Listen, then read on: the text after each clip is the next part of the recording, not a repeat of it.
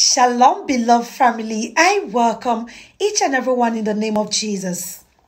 This is a word of declaration sweet Linette.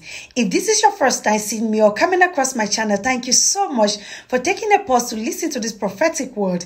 I pray this message brings change into your life. I pray you are going to be transformed by the word of God in this platform in the name of Jesus. Amen.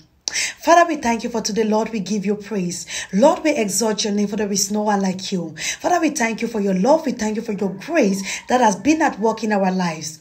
Lord, I pray for everyone under the sound of my voice. Lord, I pray for your blessings to pour upon them. Lord, I pray that may they are going out and they are coming in be preserved. Whatsoever they lay their hands to do, may it prosper in Jesus' mighty name. Amen. The Lord says this concerns you and it is about your looks. This person I'm talking to, you pay attention on so many other things except your look. The Bible says cleanliness is next to godliness. When you look good, you become so confident. When you look good, you attract favor upon you. That is the reason why people will want to associate with you. That is the reason why some people want to come close to you just because of the way you look.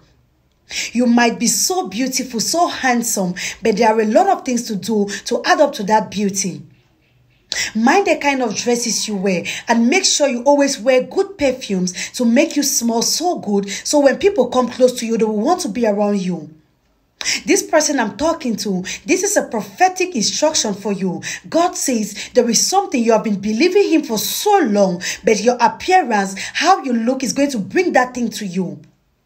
I pray for you as you hearken to the voice of God.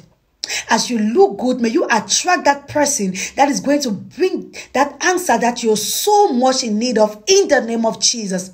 I pray that may you hearken to the voice of God. I pray that may you appear good. May you appear neat in every situation in the name of Jesus. Amen. I hope you receive this word with gladness.